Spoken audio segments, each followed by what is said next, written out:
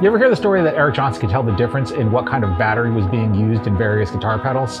Now, it's a little bit of an urban myth, but let's face it, it's Eric Johnson. That dude wrote Cliffs of Dover. I can still barely play the intro. So, you know what? I'll use Duracell batteries if Eric wants me to. Hi, I'm Tim, and welcome to Theoretically Music, where we talk about guitars and technology and recording. So, as guitar players, we love pedals. Uh, so, does that mean that now that we're moving into the world of DAWs and VSTs, that we have to stop using them? Absolutely not. But there are some things that you're going to want to know before you plug your $7,000 Klon into the front of your interface. So in general, yes, it's totally safe to plug your guitar pedals into the front of your interface just the same way that you would plug them into an amplifier. You're not going to fry anything. So there's no right or wrong way in terms of ordering your pedals into your interface, but a good rule of thumb is the standard model. Volumes into your compressor, into your drives, into your delays, into your reverbs. That said, you can get plenty of creative effects by swapping those orders around, and there are a ton of guitar players that actually prefer to have their compressor running after their drives. And splitting things even further down, uh, some players like to just line their pedals up and throw them into the front of their amplifier, whereas some others like to have their drives and compressors running into the front of the amplifier while having their reverbs and delays running in an effects loop. Now, there is a way to simulate that in your DAW. Um, we'll talk about that in a minute. And on that note, let's go check out some pedals.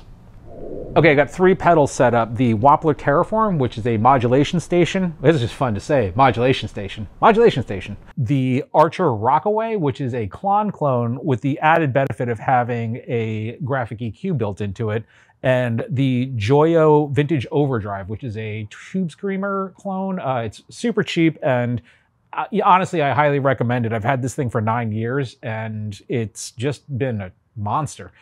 So all of that's running into the Focusrite Scarlett, uh, and then out of the Scarlett and into the Neural DSP Cory Wong. Um, and that is running default setting. Uh, I think it's called the Amp Snob. Uh, this is based on a Dumble model. Um, so cleared, it sounds a little bit like this.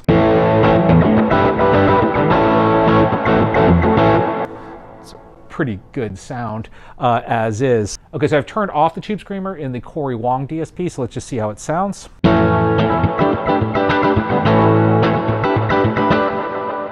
Okay, uh, and then now I'm going to add in the Archer Rockway.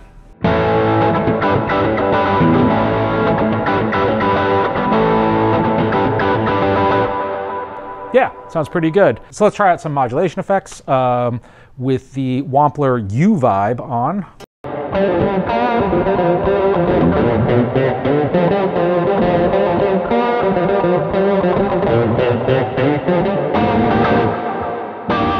So not just univibes, but flangers also work really well.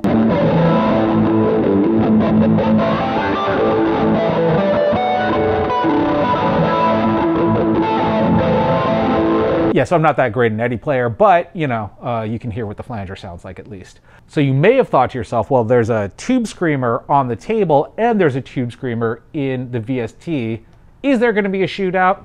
Yes, there is. So I've clean slated all the front end pedals on the Cory Wong, and everything is now set to noon. So let's try out the VST version. Here we go.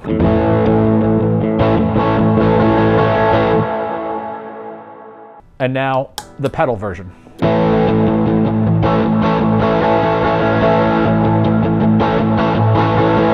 Okay, now let's dime everything. So this is the physical pedal.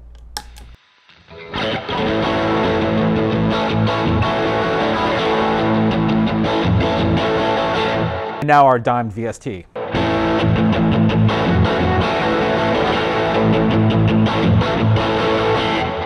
So one thing that I noticed, uh, especially when we dimed everything, is that the physical pedal is going to introduce a lot more noise into your signal, whereas the VST version does not because it's digital.